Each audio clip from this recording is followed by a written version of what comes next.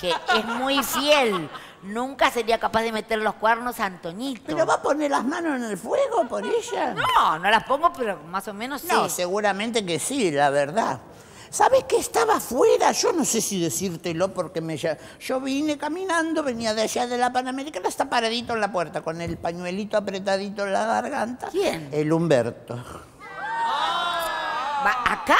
Está a la puerta, dice que yo te dijera, me, me usa de correo, dice que yo te dijera que Celia Sofobi, Celia Sofobi, ¿eh? sí. lo mandó, que iba a hablar con vos porque parece que él quería ver en nombre del amor que hubo entre ustedes.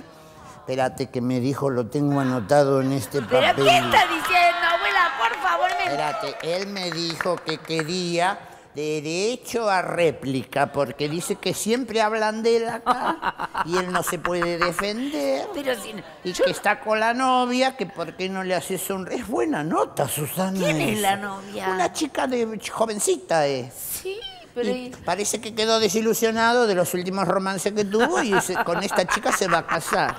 Bueno, que se case, abuela. Que ¿Querés se- que le diga que pase? No, ¿qué va a pasar? ¿Y otro día? ¿Querés que venga otro día entonces? No, que no venga nada. No, acá no. Y pero algo tenés que aclarar, Susana. ¿Qué voy a aclarar, abuela? Ya todo aclaré todo lo que No, tenía que pero aclarar. vos decís siempre que no ponía ni la propina. Es pero la verdad. En la intimidad tampoco ponía nada. Sí, Susana. pero es Ah, otra- bueno, eso es y por ahí ese Pe- detalle es importante, Susana. No, tampoco tan importante. Porque la gente dice...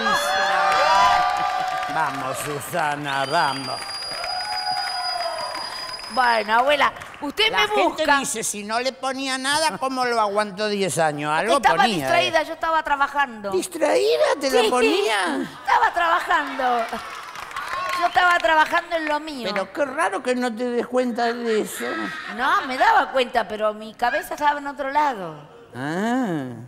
Estaba... ¿Cómo? Había empezado mi programa, tenía que ser... eh, Ah. Que por el programa no te dabas cuenta cuando era la No, noche. me daba cuenta, pero quiero decir que durante el día yo estaba todo el día en el canal con mis cosas, con mi cabeza en esas No, cosas. pero él dice de la noche, de la noche sí. La noche, bueno, sí. La noche tiene no, su no, la noche secreto. estaba bien, pero... Pero nada más. Y todo es plata al final, ¿viste? ¿Viste, pobrecito, que se murió el otro, este hombre? ¿Quién? El cantante. ¿Quién? El de la ópera. Para, Ay, para, para, Pavarotti. para, Pavarotti. Pavarotti. Dejó 200 millones de euros. De Susana. euros. El euro hay que multiplicarlo por cuánto. Por unos 50 Por casi. unos 50. ¿Eh? ¿Eh? En euro, por un dólar, un, do, 12, un, do- un euro, unos 50 dólares, casi 2 dólares. Me mareaste, párate a ver cómo En es. peso no lo hago porque no me sale, claro.